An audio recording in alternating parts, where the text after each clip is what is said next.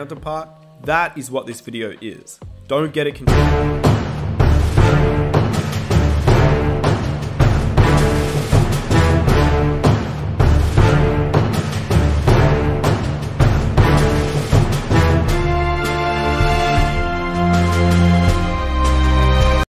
discourse of people agreeing with a statement, disagreeing with a statement, and then validating their point.